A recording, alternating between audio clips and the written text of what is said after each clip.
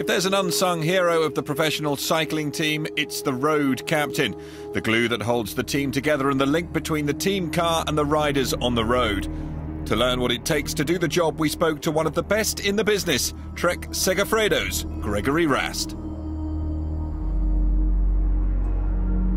I'm Gregory Rast, rider for Trek Segafredo, and I'm one of the road captain in this team.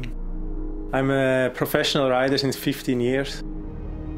His experience uh, counts a lot. Um, he feels the race, he knows what's going on. Also, he's an unbelievable good guy off the bike. Uh, funny guy.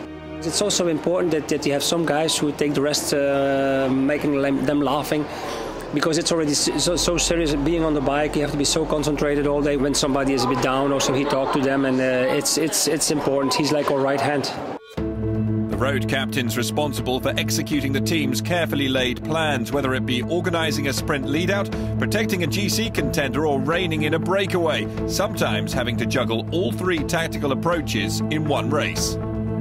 It is not a PlayStation game. We need to control the race. We need to to build a situation in the race which is good for us. It is a good group, it is a bad group, we let it go or not, and then uh, how much time we give the group, and you can say, okay, let's close it immediately or not. But it's uh, things like this, and look that uh, everybody is doing his job. A road captain is actually the guy who can take also decisions in place and the dynamic director. So when you need a road captain who speaks on the radio, uh, who takes decisions and uh, who tells, by example, me exactly of immediately when, by example, four or five riders go up the road, who's there, which teams are there, so then we are immediately okay, they can go or we should react. And yeah, it's it's a very important role. He's like um, a super helper, a super domestic. Um, whatever you ask him, he, he, he tried to do it. He gives always the best of himself, not the 98% or not the 99%, but the full 100% in support of the team and especially his leader. With years of experience, road captains also have a pastoral role. Having learnt from their time in the peloton, it's an unwritten part of the role to pass on advice to lesser experienced teammates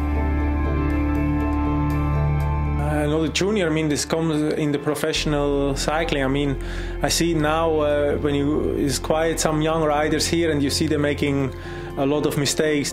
When I was young, I did uh, a Classique des Alpes, and I was the first guy to attack. So uh, it was a big mistake because it's a climber race, and uh, so this, uh, my teammates told me afterwards, and also some other riders told me, uh, you should maybe not do this.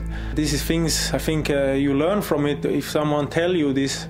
And I mean, I had. Uh, I, in the past, uh, there was some some big riders, but also some really good directors who, who, who teach me.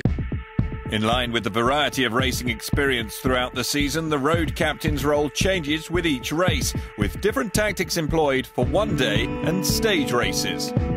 Of course, uh, the tactic is based on what the leader's ambitions are.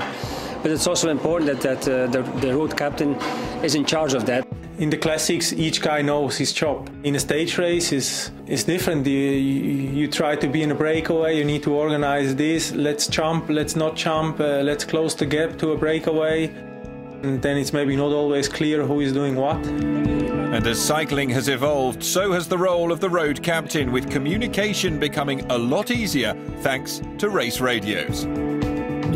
Role of the road captains were even more important than now. But it makes it makes the role of us and also the role of the road captain a lot easier. Didn't really have the communication uh, like we have now. We have so many obstacles on the road, and uh, you can never go in the peloton to see your rides. It's too dangerous. Uh, you have speed bumps, you have roundabouts, uh, narrowings, and it's uh, yeah, it's it's very good that we can use it.